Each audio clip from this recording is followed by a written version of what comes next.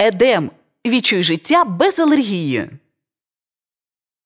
Говоримо з нашим військовим експертом. Це є Петро Черник. Пане Петре, вітаю! Слава Україні! Героям слава! Е, не знаю, я повторюю, не знаю, чи ви чули про те, що керівник головного управління розвідки Кирил Буданов сказав наступне: що якби підірвали ми Чонгарський е, міст, коли росіяни наступали, то ем, е, вони б шукали альтернативи просування. Скажіть, будь ласка, наскільки наскільки довго би затягнулося е, оцей от наступ росіян на півдні? Дуже складне питання. Я не маю на неї однозначної відповіді, тому що її треба розглядати в історичному контексті. А всі документи я дуже люблю читати. Документи будуть доступні тільки після того, як ми закінчимо і виграємо цю війну, і матимо серйозну експертну позицію, тобто майданчик на основі фактів, а не на основі наших домислів.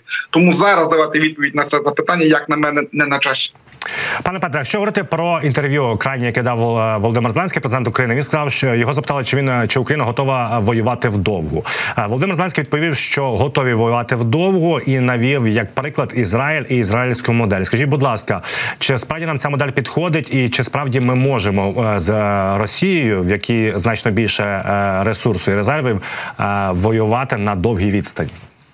Підемо від протилежного. А що нам залишається? Допускаємо, що ми капітулюємо. Я точно знаю на 100%, Даруйте мені за мій егоїзм, що відбудеться. Сотні тисяч українців просто переб'ють. Банально para, para, para вони це вже це зробили в Бучі, в Ірпіні, в Бородянці. Вони показали, що вони до цього надаються. Наступний момент кілька мільйонів українців вивезуть на депресивні їхні зони. Росія перебуває у депресії. В них у них три великі конгломерації: Московська, Пітерська і утворюється за е, зараз надчорноморська. От і все Сибір порожній, а там лежать усі їхні ресурси. Комусь треба з ними працювати. Ця війна якраз і почалася, щоб повернути назад Україну у геополітичну лону Московії, бо інакше її не може бути. І давайте вчитися на своїх уроках історичних. Про це ще казав Ніколо Макіавелі. Якщо хочеш знати, як буде, вивчи, як було. Що сталося після того, як ми втратили свою державність на початку ХХ століття? Правильно вони влаштували голодомор, геноцид, який на здорову людську голову налізти не може.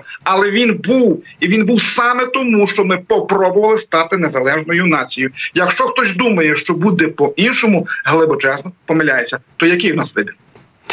Повертаючись до ізраїльської моделі, чи вона нам підходить, і чи ми можемо е, її застосовувати в Україні?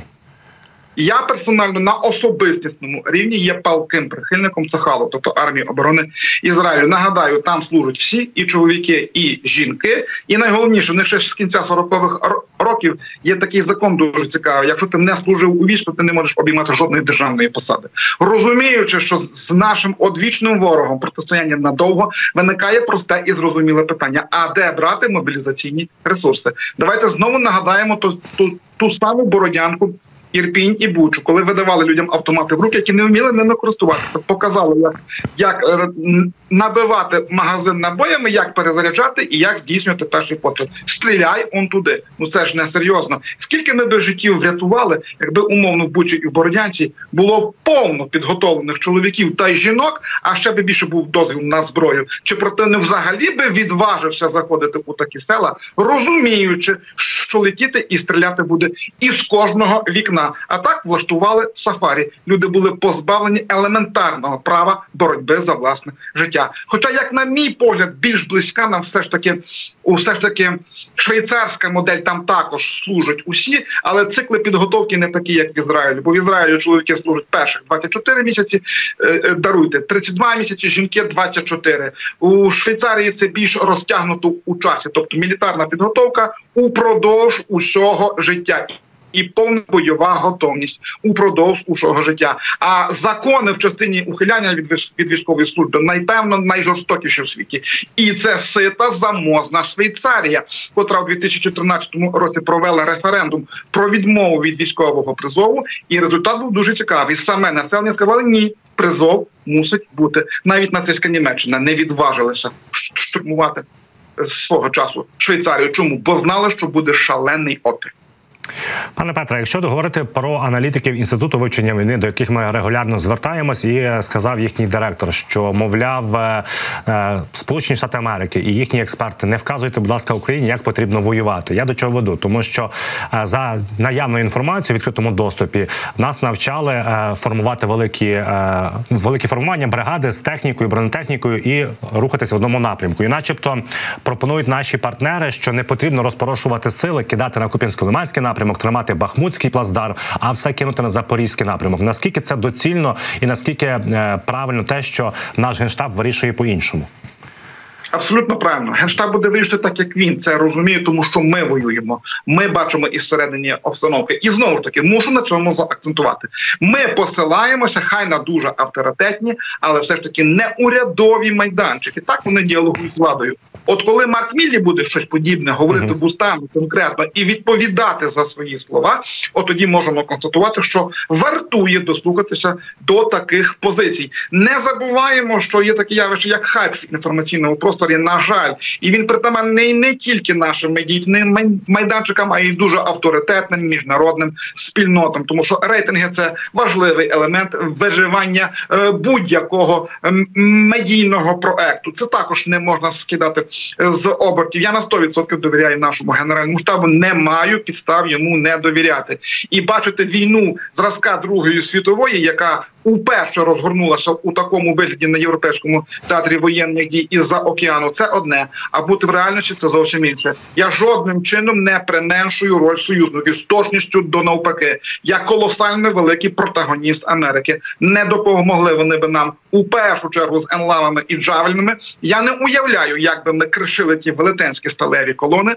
котрі зайшли у перші дні нашої оцієї визвольної війни, бо саме такою вона є. Це їхня заслуга. Вони наперед передбачили, яка саме зброя буде потрібна на перших етапах, і за це їм низький уклін. Але разом з тим розуміємо, що великий євроатлантичний світ це угруповання дуже багатьох народів, наче зі своїми інтересами держав, транснаціональних корпорацій і тому подібне. В основному це демократична спільнота, яка має право на свою точку зору. І давайте ці зважені е, здорові дискусії і будемо перебувати але підкреслюю здорові дискусії нам, українцям, треба вчитися зменшувати емоційні гойдалки. У нас все або зрада. Або перемога, а треба як свого часу римляни, ауреа медіокритас, золота середина. Навчимося тримати цей здоровий глузд і баланс, бо це найвище із мистецтв. От тоді направді реальність будемо інтерпретувати такою, якою вона є. Пане Петре, ще що сказав Володимир Зеленський в останньому своєму інтерв'ю про те, що якби ми зайшли на територію Росії, ми би в цій війні залишились наодинці. Скажіть, будь ласка, чому наші союзники такі противники, аби е, театр бойових дій, хоч частково переходив на ті плацдарми російської території, звідки вони власне і постачають все для війни в Україні? На мій погляд, відповідь і проста, і складна одно, одночасно. Ми безліч разів про неї говорили. Як виграти цю війну нам, українцям, перемогти режим Путіна, не застимулювавши розпад Російської Федерації. Немає рішення на її розпад. На мій погляд, під час останнього візиту Блінкена до Китаю вони не порозумілися у частині сибірських ресурсів. Але це мій погляд, а аналітичний на основі е, знань про геополітику і історичних глибоких розвиток, бо не можу підтвердити свою думку саме зараз зараз конкретної інформації ще раз, щоб не виривали мої слова із контексту. Це точка зору вона може бути хибною. Немає розуміння, як бути далі. Новий гегемон прокинувся. Брікс буде переростати новими державами. Глобальний південь оформився. Китайці бачать себе новими володарями світу, і в капіталістичній економіці віддати їм 40% ресурсу, які є в Сибіру, а 40% усього, що має людство, є там. Найбільший ресурс прісна вода, озеро Байкал, 23 тисячі кілометрів кубічних води чистої. Це колосальна, просто неймовірна е, кількість ресурсу. Ніхто їм в здоровому глузді в капіталістичному світі цього не віддасть. Попри те, що Китай політично комуністичний, в економічному сенсі це чиста капіталістична держава. Апетит приходить під час їжі, і китайці також можуть дійти до висновку, що їм півсвіту замало, а треба весь світ. І весь світ будуть бороти не технологіями і не економікою, а збройною силою. І це дуже складна матерія, на яку поки що що немає відповіді. Я в тому числі не можу дати відповідь на це питання. Пане Петре, скажіть, будь ласка, оця от е, вже зафіксована кількість F-16, які нам готові передати союзники. Е, Міністр е, оборони Резніков каже, що перші F-16 можуть з'явитися навесні 24-го року. А ми загалом говоримо про 61 одиницю.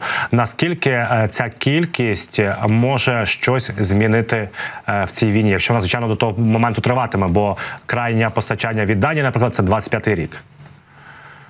Може змінити абсолютно все. Для мене приємне подивування, бо я доволі такий іронічний. Маю склад е, розуму. Уважав, що якщо при- прибуде перших 12 машин і задекларують, то це буде добре. А 61 машина це дуже багато. Ці е, машини унікальні, мають колосально величезну номенклатуру зброї та озброєнь. Найцікавіше для нас ракета AGM-158 JASM, котра може завдавати ударів як по стаціонарних, так і по рухомих цілях. Дальність 980 кілометрів. Ми можемо повністю потопити їхній флот. Повністю, тобто виключити проблематику, котра називається 3 М14 калібр, котра запускається із підводних і надводних плавзасобів. А також перетворити весь Кримський півостров в колосальний феєрверк. Таких ракет в Америці вироблено поза 5 тисяч. Питання в якій кількості їх нам нададуть. Крім того, важкі планерні бомби від 270 кілограмів, скажімо, як GBU-12 до однієї тони, як GBU-10, GBU-24, GBU-31. І про, JDM ми неодноразово е, говорили G- GBU-38, і це далеко не повний перелік ракети ближнього радіусу, просто унікальні.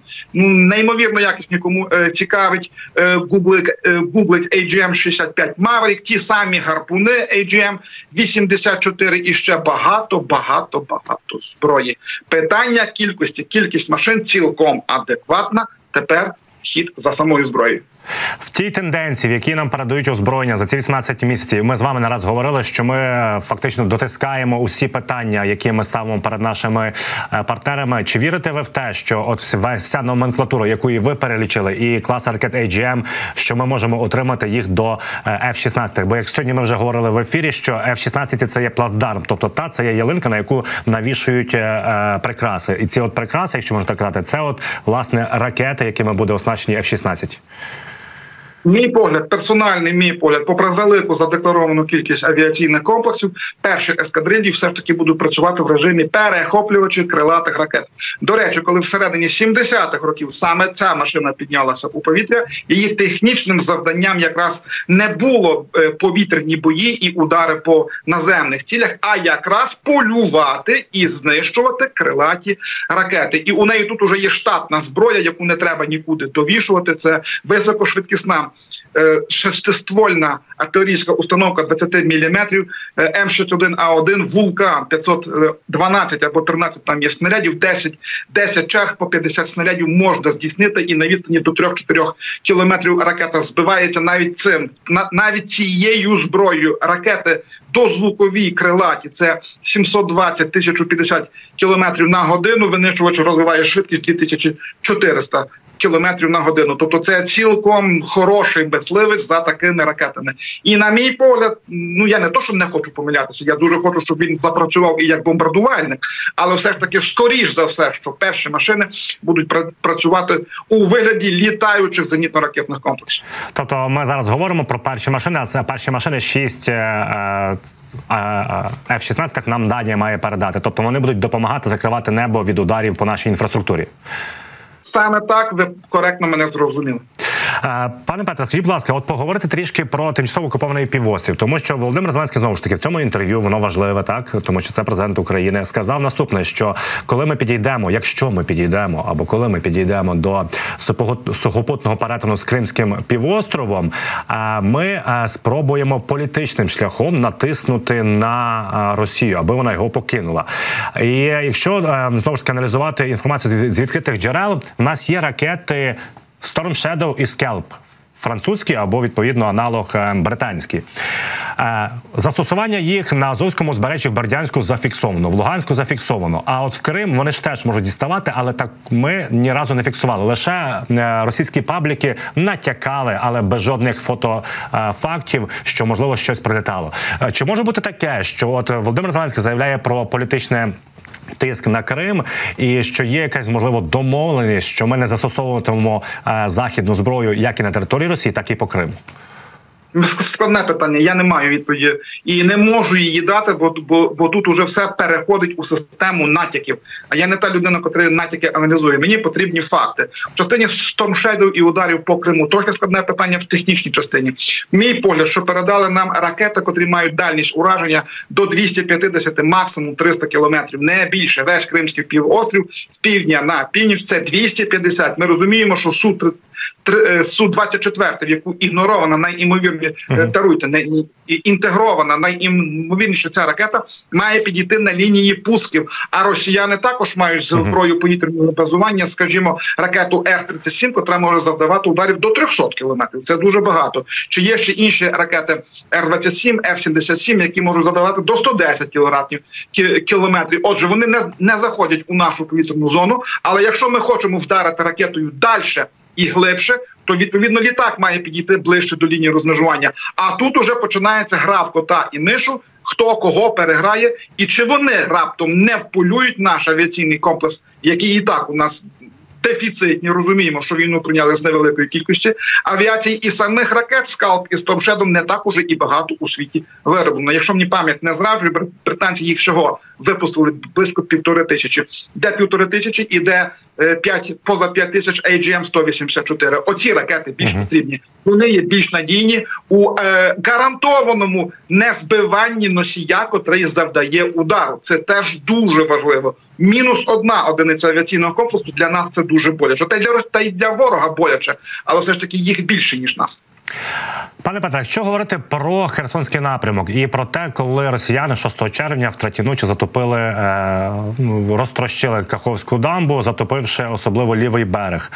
Е, ми прекрасно знаємо, що е, від лівого від правого від Дніпра, точніше, коректніше кажучи, до Армянська це сухотний, сухо, сухопутний перетин 75 орієнтовно кілометрів. Ми розуміємо найкоротший шлях до Криму. А скажіть, будь ласка, чи можуть зараз статися умови такі, що ми зможемо відкрити ще один плацдарм бойових дій саме на лівому березі. А давайте ми не будемо говорити про те, де який плацдарм і в чому і в якому вигляді ми можемо відкривати.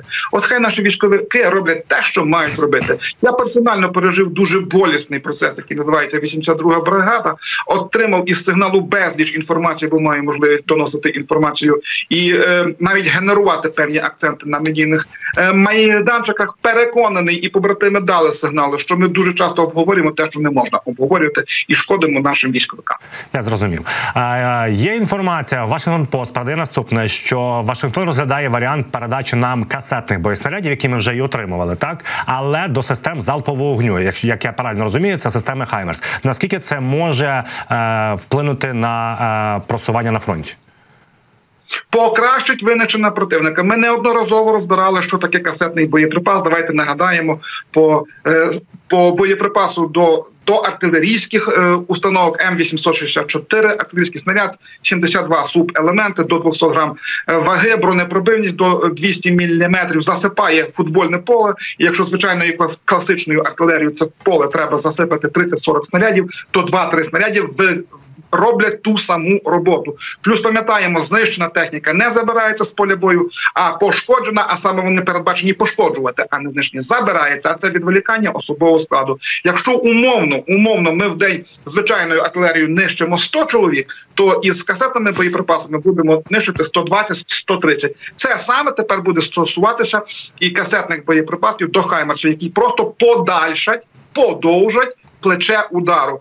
Бо ж стандартний боєприпас, якщо у звичайній комплектації це 24 кілометри, якщо з активно-реактивним двигуном до снаряда може пророблятися така штучка дуже цікава, це до 30 кілометрів. А вже Хаймерси це як не як 227 міліметрів. Відповідно, там є боєприпаси, якщо ні пам'ять не зражує в касетному е, виконанні до 600 одиниць шрапнелі. А це вже викошується вся піхота, скажімо, на далеких підходах на тих пунктах, де зосереджені вони для відпочинку. От що буде робити касетний боєприпас, покращить нищення, але не переламає війну. Війну переламає авіація і зброя, котру ми дуже чітко і якісно проговорив.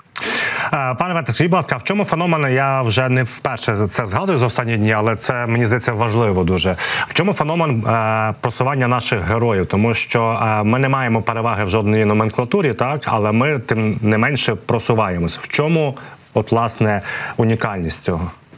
Ціле покладання, точність завдання в першу чергу артилерійських ударів і їхня якість по дальності е, звичайних ну як звичайних 150 мм гармати, особливо Пацерхаубице, мають дальність до 32 кілометрів. Найдальше, що мають росіяни, 28 е, кілометрів. Це гіацент. Звичайно, що може 2 е, С-7 піон завдавати ударів і до 50 кілометрів. Це дуже складна машина в обслуговуванні. Вона важка, вона дуже величезна, дуже зручка, зручна ціль. І ми виграємо в контрбатарейному протиборстві. Та е, такі апарати, як ANTPQ, складна назва 36, 48, 50, дуже точно видають у реальності часу зал противника, тобто їхню артилерію. До хвилини часу ми все обчисляємо і задаємо мегаточних ударів у відповіді. Ми маємо М982 Ескалібур, високоточний боєприпас. Нічого подібного росіяни не мають. Краснополь є, але вони не стягують ні кількості, ні по якості. А їхні машини, такі як зоопарк, один близько не витримують конкуренції із тим, що я згадав. А про таку машину, як німецька кобра, кому цікаво, знайде в інтернету це щось неймовірне. Вони можуть тільки мріяти. І от ми тримаємося в частині, що називається якість. Проти кількості вони насипають кількістю, чим не дають нам рухатися уперед. Плюс мінні поля вони глобальні із другої світової нічого подібного за винятком Ірано-Іракської війни. Вони там досі стоять. Я їх своїми очима е, бачив. От і нескінченна жива сила. Будьмо чесними, це їх дуже багато. Нас 35 мільйонів, їх 140. Ну не співмірні показники. А тримаємося за рахунок якості. І в частині артилерії з червня місяця. Думаю, що у серпні підтвердимо ті самі показники. Показуємо щось безпрецедентне. Колесо воєнна історія на нашому боці, але не буде все так швидко, як ми цього хочемо. Ми в третій стадії індустріальної війни, перемелювання ресурсів. Війну виграє логістика. Про це ще казав їхній американський шестизірковий єдиний в історії е, генерал генерал армії Джон Першинг. Битви виграють солдати, логістика виграє війну. Зрозуміло, пане Петре, от нас є офіційно вже просування на південному фронті. Про це заявила Ганна Маляр. Роботи офіційно деокуповані. Ми зараз б'ємося. Наші хлопці, герої б'ються за Новопрокопівку. Далі йде Токмак. Я розумію, Мелітополь. Скажіть, будь ласка, е, в одному з інтерв'ю виданню Reuters неназваний наш бойовий офіцер з цього напрямку е, сказав, що далі теоретично просування може бути швидше і легше, тому що замінування вже є меншими. Адже від другої лінії до першої лінії оборони е, росіянам самим треба було постачати все необхідне. Відповідно, мін є менше. Як ви вважаєте, чи справді е, може пришвидшитись наступальні дії після прориву повністю першої лінії, лінії оборони противника? Першої, другої і третій все разом орієнтовно до 25 кілометрів, десь в тих межах, але це одна лінія так звана лінія Суровікіна. Як тільки її пробиваються, далі направду піде веселіше. Наступної лінії, умовно, через 20-30 кілометрів вони вже не мають аж на Перекопському перший. До нього ще треба дійти. Дійсно, як удасться продовбати, проламати, стерти, розтерти, будь мільйон синонімів ми можемо знайти. От дійсно оце якийсь е, перешийок, отак його назвемо, uh -huh. то тоді напевно піде, піде все веселіше, охоплення стане реальністю. Але знову ж зберігаємо здоровий глузд, не поспішаємо. Московити б'ються в смерть. Це також правда. Пане Петре, скажіть, будь ласка, я правильно зрозумів, до Мелітополя є три лінії оборони, і це лінія Суровікіна вся лінія, от вся лінія розмежування, вся всі тисячу кілометрів, десь десь вужче, десь ширше, але вони зуміли її побудувати. Отака реальність. От беремо 25 кілометрів приблизно ще раз приблизно, бо це не є абсолютна константа. Кожен відтинок має ще свої географічні особливості. Є водні перешкоди, є канали, є ліси. Але в загальному, щоб ми щоб змогли собі скласти у голові цю грубу схему. От е, лінія Суровікіна орієнтовно це 25 кілометрів по ширині, а по довжині це практично весь. Зрозуміло. Якщо говорити про північно-східний напрямок, де Росія зібрала понад 100 тисяч е, живої сили, ми говоримо по Куп'янсько-Лиманський е, відтинок. Скажіть, будь ласка, зараз ми можемо вже давати. Ви можете зараз е, оцінювати те, що роблять там росіяни, тому що вже м, давно відомо про скупчення величезних військ, але просування у них немає. Ми можемо вже казати про виконання або невиконання перед собою поставлених задач російської армії. Спробую дати характеристику, чому вони це роблять. Вони про програють південний плазар, вони це усвідомлюють. Вони програють Бахмут. Це політичне питання. Вони з Бахмута вийти не можуть. Вони рухаються до оперативного оточення. І якщо це угруповання буде або знищене, або уполонене, то це направду може бути перша точка каскадного обвалу фронту. Вони обрали зручний для себе, дійсно зручний по логістиці Куп'янськ, бо до кордону близько можна все довозити не тільки залізницею, а й і вантажівками. І е, не забуваємо, що таке явище, як пропаганда, їм потрібні результати. Потрібні, хоч які вони дійшли до, до висновку, що тут будемо добиватися результату. Тепер 100 тисяч. Ну, у мене персонально сумніви, що там є 100 тисяч. Якщо є у межах 50 тисячного корпусу, то це для них добре. Е, Даруйте за такі висловлення, але я буду виключати емоції, а говорити виключно воєнною аналітичною мовою. Однак такий корпус треба забезпечити поза 800 танків.